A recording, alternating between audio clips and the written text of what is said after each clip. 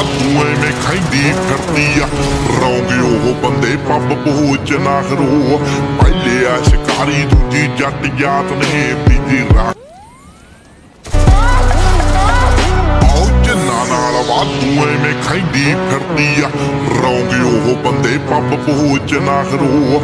ਪਹਿਲੇ ਆ ਸ਼ਿਕਾਰੀ ਦੂਜੀ ਜੱਟ ਜਾਤ ਨੇ ਬੀਜੀ ਰਾਤ